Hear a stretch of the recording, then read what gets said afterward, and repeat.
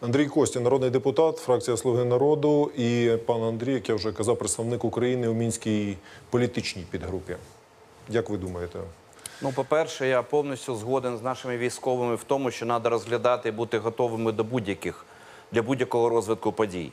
І це їхній обов'язок, і їхній обов'язок щоденно е, перевіряти ситуацію і докладати її в е, найбільш реалістичному вигляді для того, щоб і військове, і політичне керівництво могло приймати відповідні рішення.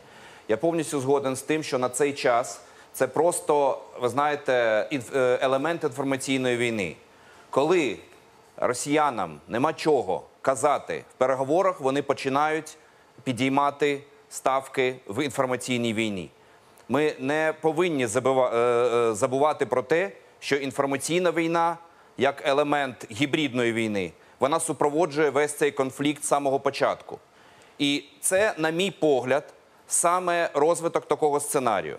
А коли е, цю загрозу, яку я не вважаю зараз реальною на цей час, її підхоплюють дуже різні політичні сили, її підхоплюють дуже різні представники навіть е, іноземних країн. Ну тут виникають питання, чи чому саме в, в цей період часу е, е, співпадають їхні інтереси. Наш інтерес е, поглядає, полягає в тому, щоб все ж таки досягти миру.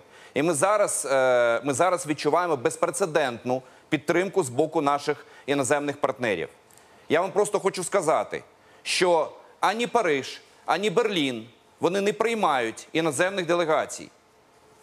Вони дають нам площадку і вони повністю підтримують, бо вони бачать активну позицію української делегації, і вони бачать, що ми реально робимо кроки вперед. Тому елемент цієї потенційної загрози давайте розглядати як елемент інформаційної війни.